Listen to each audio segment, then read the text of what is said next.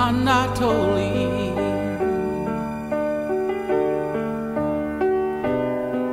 Is the day spring?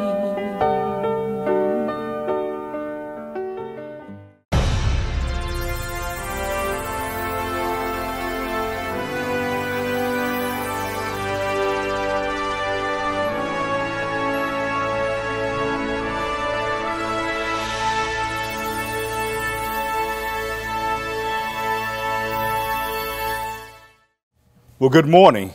In Psalm 34, verses 1 through 3, it says, I will bless the Lord at all times. His praise shall continually be in my mouth.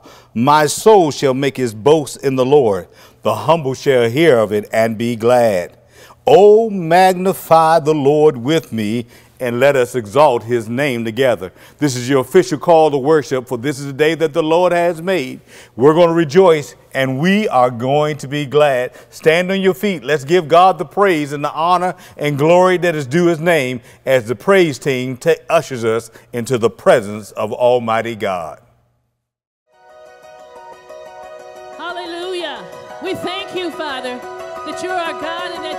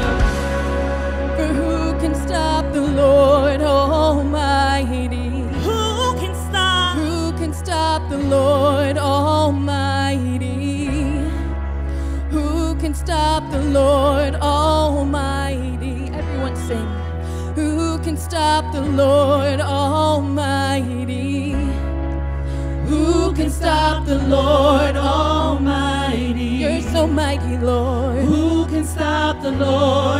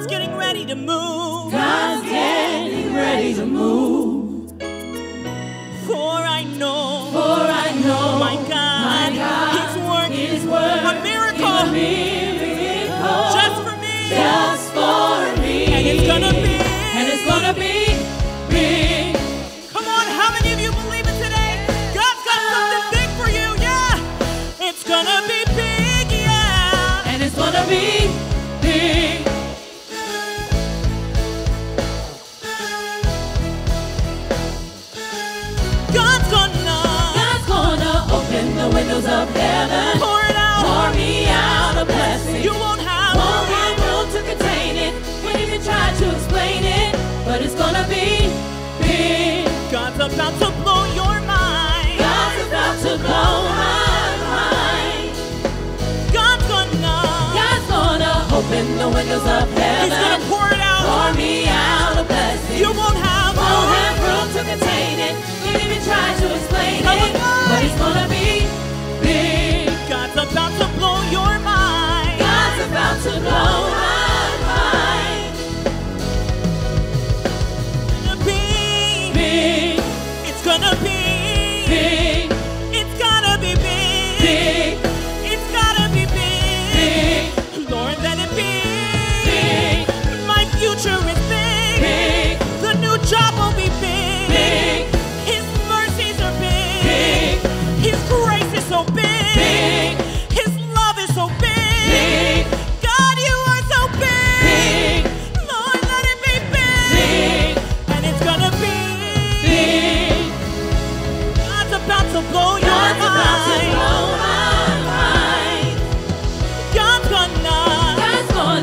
open the windows of heaven. pour it out. Pour me out a blessing. You won't have won't have room to contain it. Can't even try to explain it. But it's gonna be big. God's about to blow your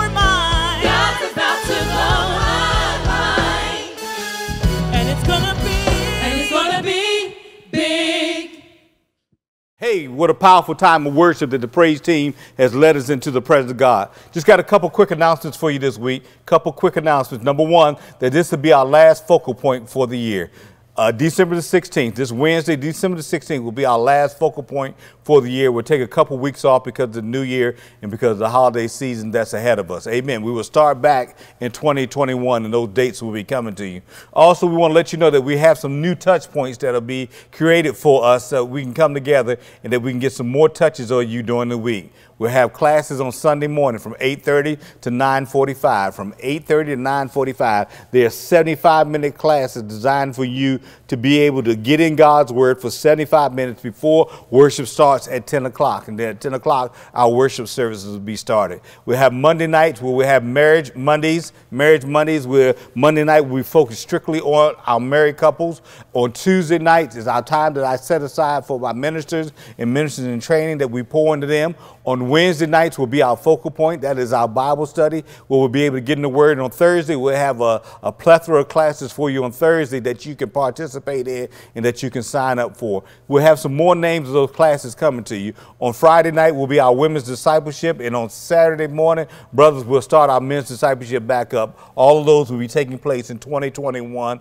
Some names of the classes and the way that you can register for the classes and to get your materials for the classes will be coming to you in the next couple of weeks so that you can take advantage of all these touch points that we're creating for you. Amen. It is now offering time. It's now offering time. Amen. Amen. Amen. I love when we have an opportunity to give back to God what is rightfully is. Psalm 24 1 says that the earth is the Lord and the fullness thereof. Second Corinthians chapter 9, verses 6 lets us know that if we sow sparingly, we'll reap sparingly, but if we sow bountifully, we will reap bountifully, and that God loves a cheerful giver. So I don't want you to be grudgingly. I don't want you to give grudgingly. I want you to be happy. I want you to be excited. I want you to be jumping with joy that you have an opportunity to give back to God what is rightfully His. Amen. If you're guessing, you're watching online, we believe that this is good ground for you to sow into right now. So we want to give you an opportunity of sowing into this church. There are three ways in which you can sow. One is by what we call the snail mail. You can mail it to Dayspring Ministries at P.O. Box 550, P.O. Box 550, Middletown, Pennsylvania 17057. That's P.O. Box 550. Middletown, Pennsylvania 17057. Or you can go on our website, and as you go on our website, click on the the button that is for giving, and you can give there to our website, or you can download the Dayspring app and you can give through the Dayspring app that way. So there are three ways in which you give through the snail mail, through our website, and through our app. And we want to give you an opportunity to give to us. We believe this is good ground, and we're praying that as you're being generous towards us, we're praying God will pour out a blessing on you, some 30, some 60, some 100 fold, as the word promises that God will do. And so we want to give you an opportunity to give. Let's pray over this offering before we give. But before we pray, I want to make sure that you take note that you honor Dr. Ashe with a pastoral love offering. Make sure that you're being a blessing towards the man of God for 20, 29 years of faithful service, 29 years of preaching, teaching, loving, counseling, and being here for this church and for others in the community. So we want to make sure that you honor him with a pastoral love offering. Be generous towards him as he's coming to the end of his 29 year period. Make sure that you are generous towards the man of God. Amen. Amen. Let's pray. Father, we thank you for this opportunity to give back to you what is rightfully yours. We ask you now to bless the tithes and the offering for the furtherance of the gospel in the city, in the state, and throughout the world. It's in Jesus' name we pray. Amen. Amen. Are y'all ready for the word? I ask you, are you ready for the word? I pray that you are ready for the word. I want you just to take a moment, and if you have your Bibles today, turn to Job chapter 2. Job chapter 2. And we're going to be preaching from there this morning. We're going to do part two of last week's message Life's Unexpected Turns. When life takes an unexpected turn. We'll be doing that and from Job chapter 2. And now get ready for the music ministry of Dayspring as they usher us into the presence of Almighty God.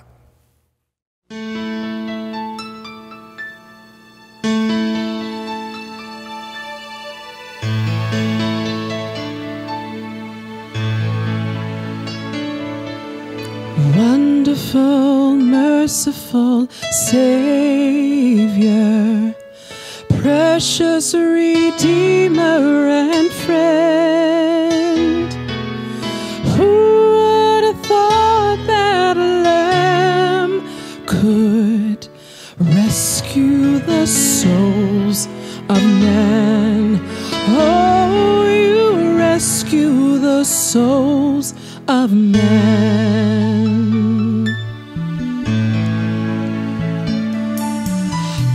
Counselor, comforter, keeper, spirit we long to embrace. You are the hope when our hearts have hopelessly lost our way. Oh, we've hopelessly lost our way.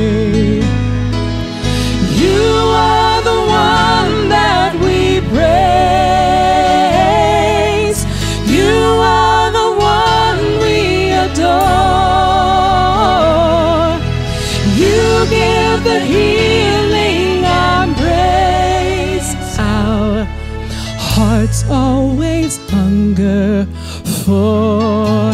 Oh, our hearts always hunger for. The Word of God tells us that if we seek Him that we shall find him if we seek him with our whole heart. We will find that loving Savior. We will find the comforting Spirit. And we will find our Almighty Father. But the question is are our hearts hungry enough to seek Him, to truly seek Him with all of who we are?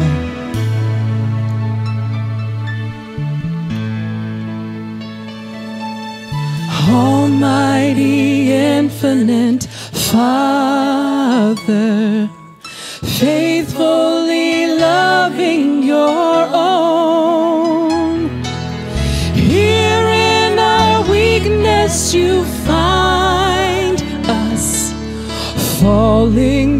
Before your throne. Oh, we're falling before your throne.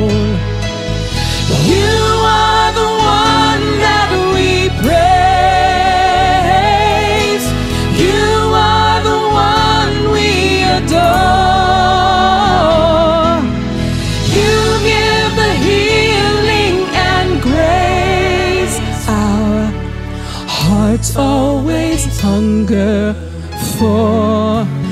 Oh, our hearts always hunger for.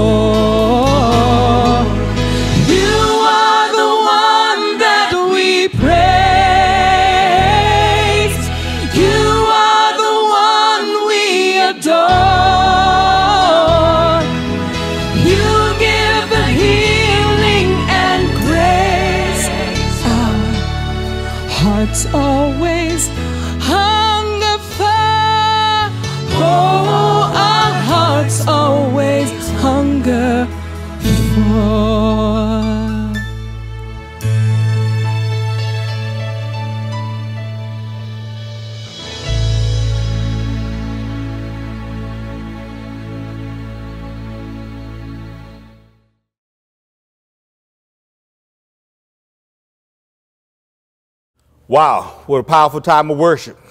Are you ready for the word? I, I know last week that some of us were stunned by the word that we got last week with life's unexpected turns. I want to give you part two of that message today in Job chapter 2. In Job chapter 2. If you got your Bibles, just turn to Job chapter 2. I just want to read a couple verses. We're going to look at 10 verses today. And out of these 10 verses, we're going to come out with a challenging message that will challenge us and provoke us and make us look at God differently after we see this message, after we receive this message. Job chapter 2, starting at verse number 1. Again, there was a day when the sons of God came and presented themselves before the Lord, and Satan came also among them to present himself before the Lord. And the Lord said to Satan, From where do you come? So Satan answered the Lord and said, from going to and fro on the earth and walking back and forth on it. Then the Lord said to Satan, Have you considered my servant Job, that there's none like him on the earth, a blameless and upright man, one who fears God and shuns evil?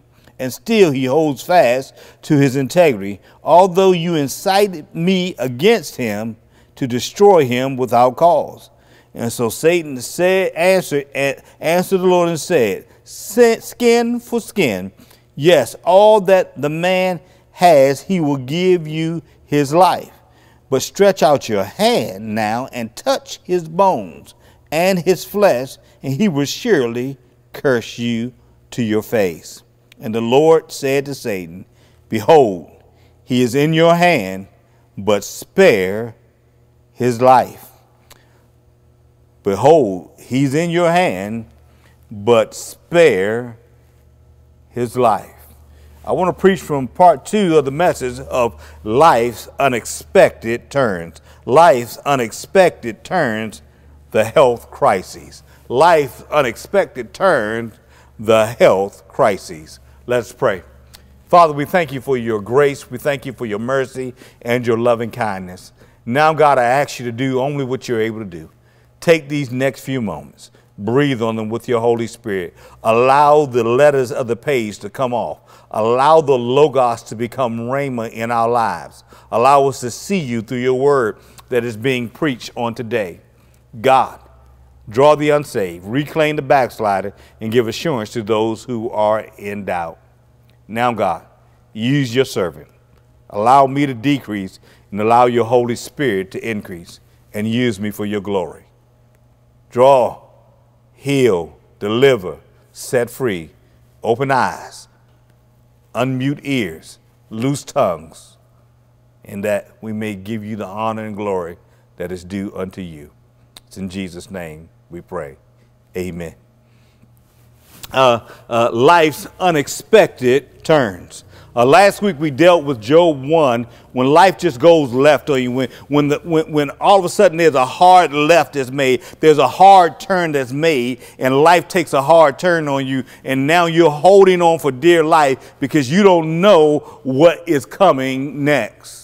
I'm, I'm here in chapter two, and I want to deal with chapter two, but I want to talk about life unexpected turns when there is a, a health crisis, when there is a health crisis that is taking place. It is life unexpected turn. I, I, I want to I want to go back to a painful moment, and I want to allow you to look in on this painful moment that I experienced in my life. I, I've been through this painful moment not once, but I've been through this painful moment two times two times that I sat there and I heard the doctors give a prognosis on each one of our parents that they were going to die. I heard the prognosis. I, I'll never forget it that my, my dad, whose situation was even worse because he was unresponsive, and I sent the police to knock down the door, and they came and they found him unconscious, and the ambulance came and picked him up, and they took him to the hospital, and, and, and, and the doctor said that he, he won't survive, and they, they gave me an option of what I wanted to do. I, I, I remember that moment very well because I was in that Florida's hospital all by myself, and nobody to turn to, nobody to lean on, and I had to make a tough decision that day. But I want to take you back just about five years ago. Uh, my mom's gone home and will be with the Lord. But we knew that something was going on with her because she was fatigued and her breathing was labored. And we took her into the doctor's office, and we took her into the doctor's office.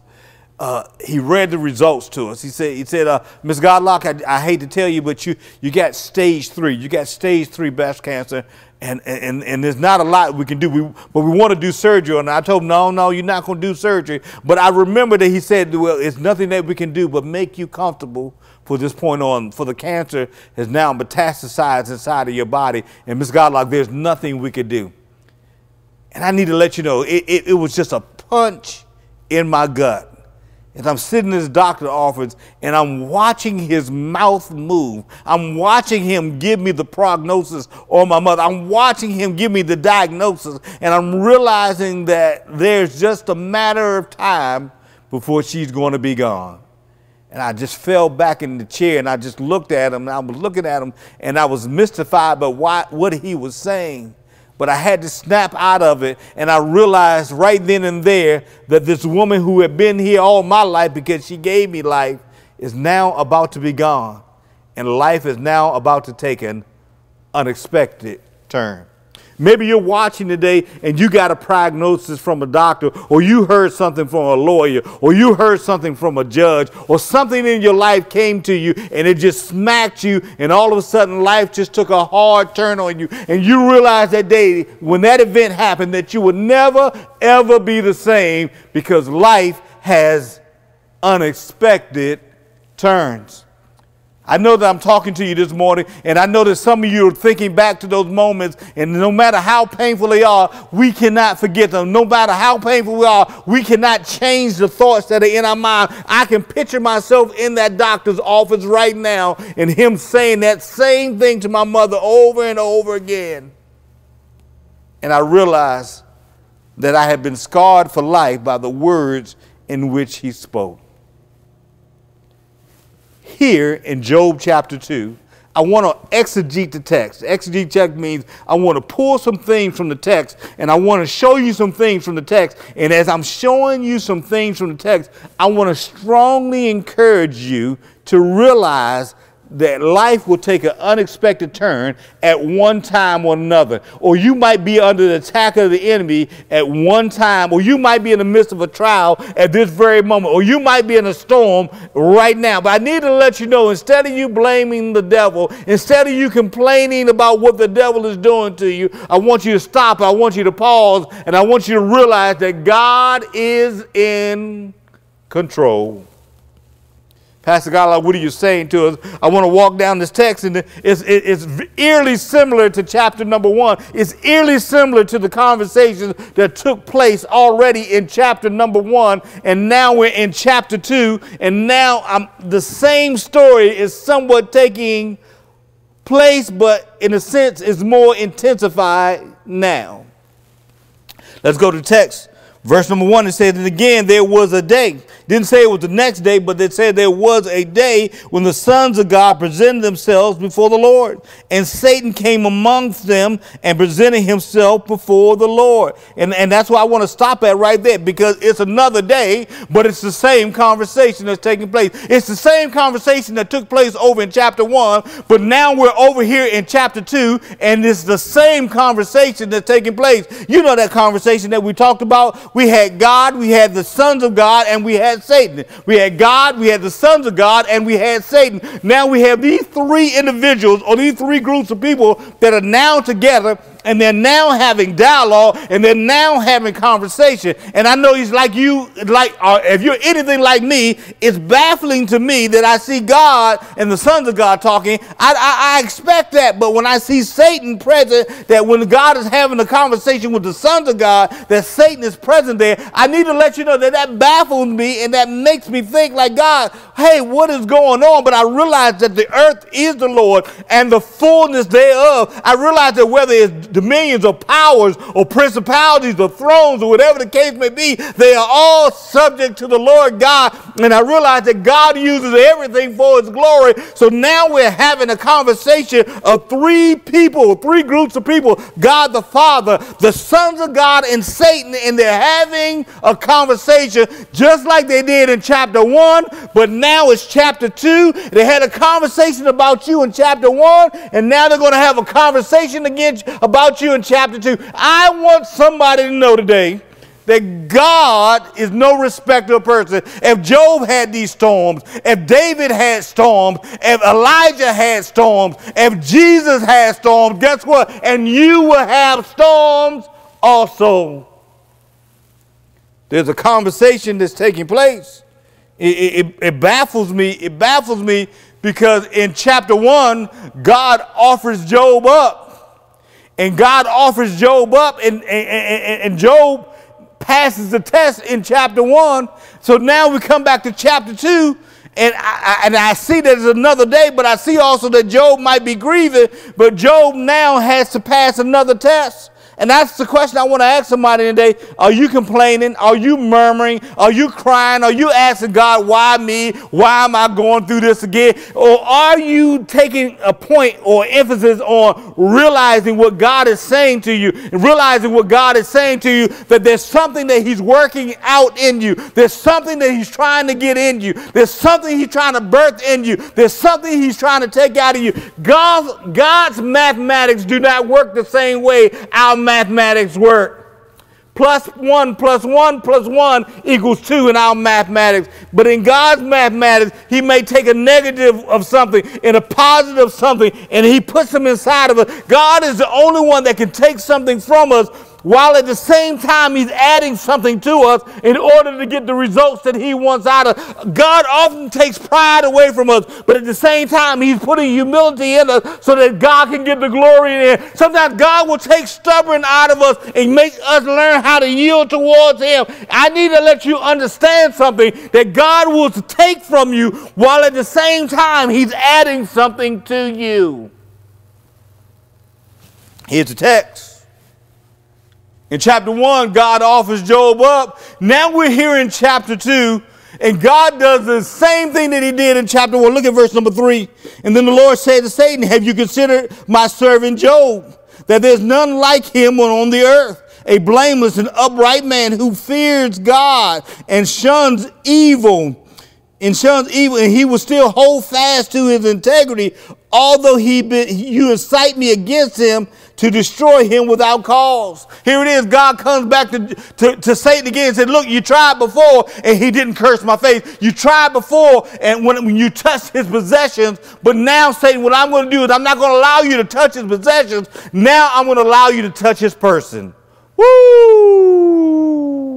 Okay, okay, you can you can take the stuff, but you can't take him.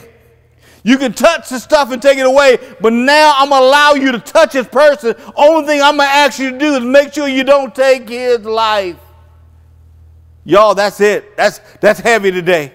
That's heavy today because now what I see in this text is this is that God has limits on where how far Satan can go, but at the same time, what God does is God takes it to another level in a sense. God raises the stakes. Look at verse number four. And so Satan answered the Lord and said, Skin for skin. Yes, all that the man has will he give his life for his life. But stretch out your hand now and touch his bones and his flesh, and he will surely curse you and to your face. Look, look, look, look, look what Satan is saying. Look, look. Okay, he didn't flick off about the stuff. But now I want to touch his person. His possessions are gone and he didn't curse you. He, he gave you praise. He gave you honor. Okay, okay. But now I want to touch his person. Now I want to put on him disease. Now I want to put on him sickness. Now I want to put on him infirmities on side of it. Now I want to put some stuff on him that he needs a healing. And I want to let you know today that sometimes when you're going through life challenges, when you're going through life storms, that the enemy will put cancer in you. The enemy will put dialysis situations on you. The enemy will give you a heart issue. No matter what you're going through, God will allow the enemy to touch your flesh, but he will not allow the enemy to take your life. The stakes are raised. The stakes are now raised because now Satan has been granted permission, granted permission to touch Job's flesh, but not to take Job's life. He took Job's possessions. But he could not take Job, Job's loyalty to God. Job was loyal to God and he would not curse God. He would not lie against God. He would not shake his fist at God. But what Job would do was would give God the praise. And that's the question that we got to keep asking ourselves is that when life takes unexpected turns, when we're in the midst of a health crisis, when we've got the diagnosis from the doctor that it's cancer or something that's incurable, will you curse God's face or will you give God the glory? The stakes are raised. Verse number six the limits are lifted and the attack intensifies. And so the Lord said to Satan, Behold, he's in your hand, but spare his life.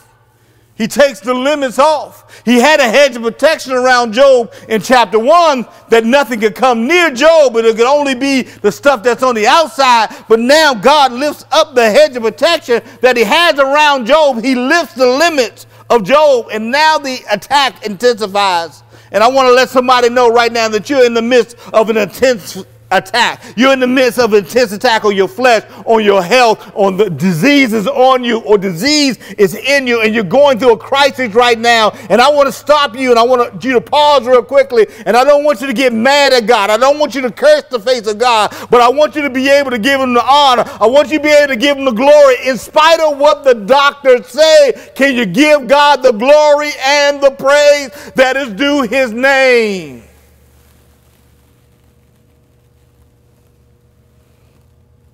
Limits are lifted, the attack intensifies. Here in verse number seven. So the Lord went out from the, for, so Satan, I'm sorry, so Satan went out from the presence of the Lord and struck Job with painful boils, from the sole of his feet to the crown of his head.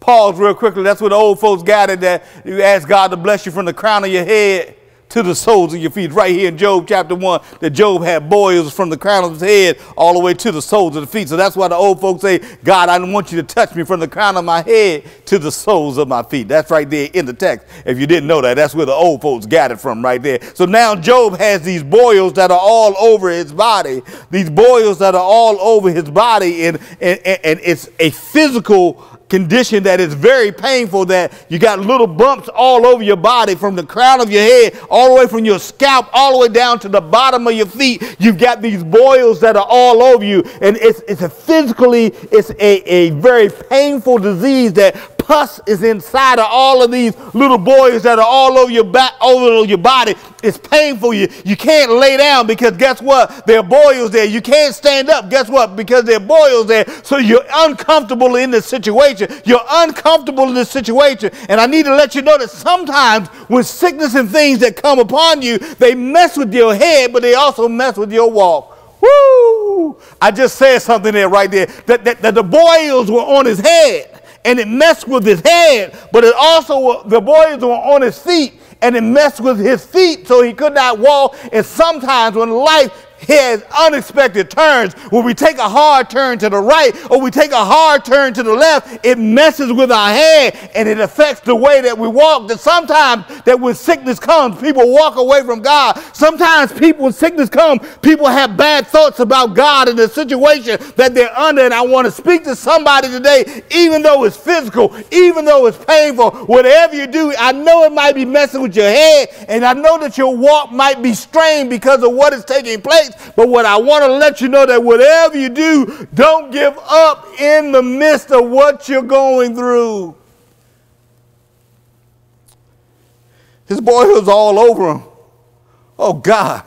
I can only imagine how Job was feeling. I can't sit down because I got boils on my back. I got boils on my butt. I got boils on my legs. I got boils on my feet. I got boils. I can't stand up. I can't sit down. I can't do anything. And this, this pain that's on me, this pain that I'm going through, and I want to know, God, when will this pain end? How long will this storm last? How long will I have to go through this?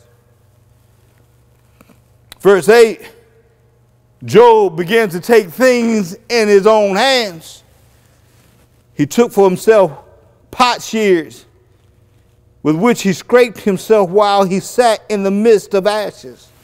That lets us know that Job was still grieving the loss of his kids because he was in the midst of ashes.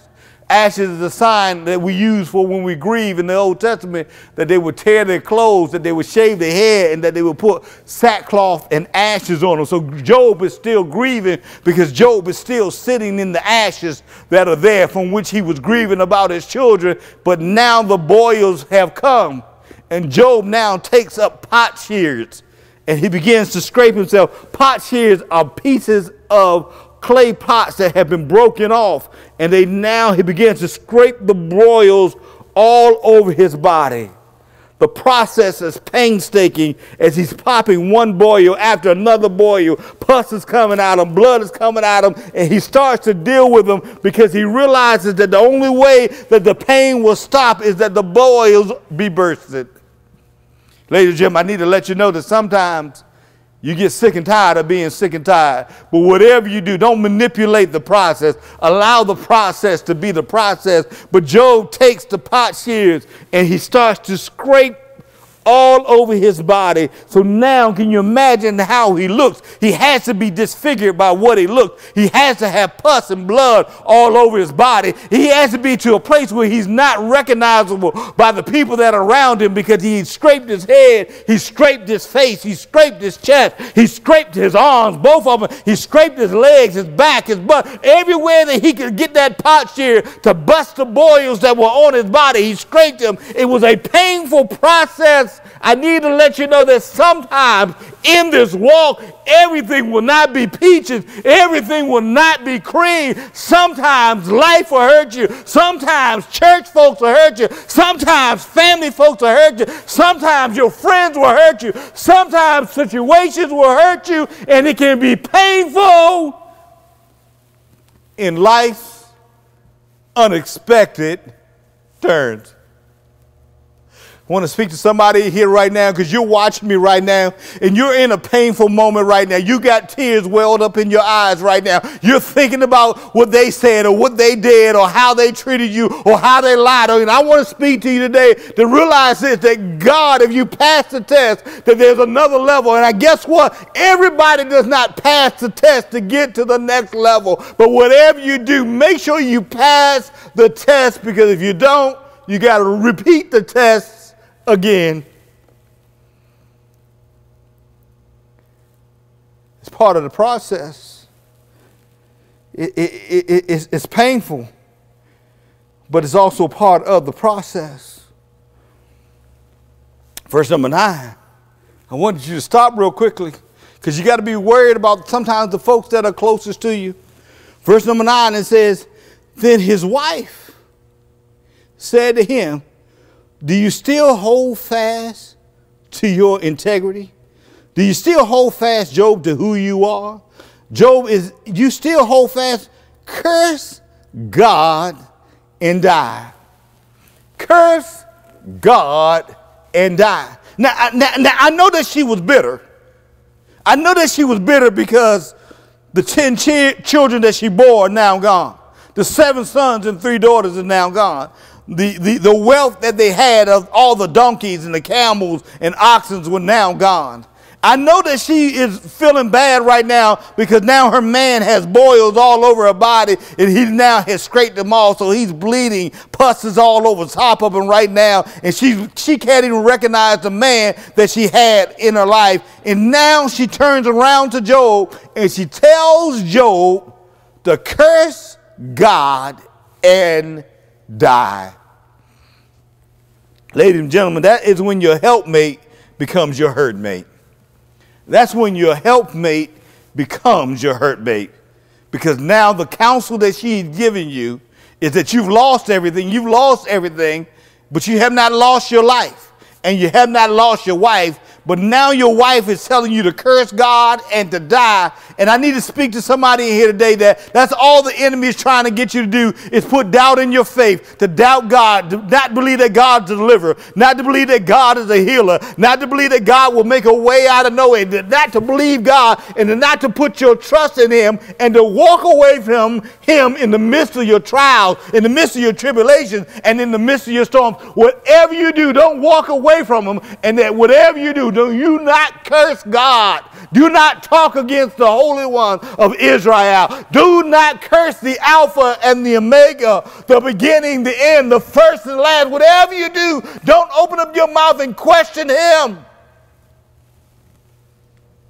Because your helpmate can become your hurtmate because you're bitter because she's lost her babies. She's bitter because she's lost all the possessions. She's bitter because a man is in pain. She's bitter because guess what? The boils that are on him. She's bitter because he's now disfigured because he scraped the boils and she's had enough. She said, Look, just curse God and die so that God can take you out of here and take me out of here and put us both out of our misery. But in verse number 10, Job's response blows my mind.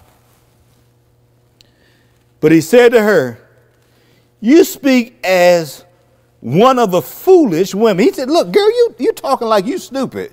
You talking like you back on the block somewhere. You talking like you done lost your mind. You can't you you you you you speaking like a fool right now. I need to let you know that a fool is known by his many words. And what you're speaking right now is sheer foolishness to me. Curse God and die? Are you mad? Have you lost your mind? And then here's what Job says. Shall I indeed accept good from God? And shall we not accept adversity? Shall I indeed accept good from God? And shall we not accept adversity? Let me come out. Let me break it down to you. Let me put it on 33 and third. Let me put it down. Let me slow it down and put it on the line of your mind. What Job is saying is God has blessed us with so much that with this little bit that we're experiencing, do I doubt him because I'm in a storm? Do I doubt him because I'm in a trial? Now, I did wake up this morning in my right mind, but, but because I had a trial, now I got to curse him. Because I got storms, now I got to doubt him. Because of the adversity, now I got to walk away from him. And I want to let you know today that if you sit down and you think about it, woo, if you sit down and you think about it, what the psalmist says is forget not the benefits of the Lord. Uh, Psalm 116 lets us know that there are benefits from the Lord. Psalm 34 lets us know that there's some benefits that come from the Lord. And the question is this, if you sit down and you count the benefits, you count how many times you woke up every morning. You count how many times that you are in your right mind. You count how many times that there has been food on the table, that there's been clothes on your back, that there's been shelter over your head, that there's been shoes that are on your feet. When you begin to start to count the blessings, the blessings will outweigh the adversity and some. And I want to speak to somebody here today that don't base your current situation off or your whole life. Realize that your whole life outweighs the adversity that you're spending and that you're going through right now. And Job says, "Hey, all the things that God has done for me, what, why, why, why am I going to curse him because of some adversity? I told you already in chapter one that the Lord gave and the Lord take it away, and blessed be the name of the Lord. So, guess what I can't do? I'm not going to curse him now. And at the end of chapter 10, in all this, Job did not sin with his lips. Didn't say what Job was thinking on the inside, but what it said was this is that Job was saying, regardless of what has happened out here, I'm not going to talk against my Lord. I'm not going to talk against my Savior. I'm not going to talk against my deliverer. I'm not going to talk against my healer. I'm not going to talk against the provider. I'm not going to talk against my banner. I'm not going to talk against the source and the strength of my lives. He says that whatever I am going to do, I will bless the Lord at all times, and his praise shall continually be in my mouth. Oh, magnify the Lord with me, and let us exalt his name together. Let me say it again. I will bless the Lord when? At all times, and his praise shall continually be in my mouth. My soul shall make his boast in the Lord, and the humble shall hear of it and be glad. Oh, magnify the Lord with me, and let us exalt his name together. So, can we only give him praise in the good times? But can we give him praise in the midst of the bad. When you have life's unexpected turns, when you get the diagnosis from the doctor and things go left on you, remember, you still give them the praise. When they say there's nothing more that they, they can do, guess what? You still give them the praise. Do you know how many people are on the earth that are alive today because the doctor said there's no more we can do for you? I was looking at a story the other day that a lady, if four years earlier, they say there's nothing you can do. You got a matter of weeks before you die. And it's four years later, and she's feeling fine, and the doctors are baffled. I need to let you know that our God is in the miracle business. Our God is still in the healing business. Our God is still in the deliverance business. Our God is still in the providing business. Our God will still make a way out of no way. He'll still be that bridge over troubled waters. He'll still be peace in the midst midst of the storm. He'll still be joy in the times of sorrow. He'll still be up when you are down. He'll still be strong when you are weak. That whatever you do, don't allow your circumstances to change your perspective of your God. Let's pray. Father, we ask you now that you take these few moments and let your word just permeate our hearts. When we have those health challenges, God, that we need to look to you.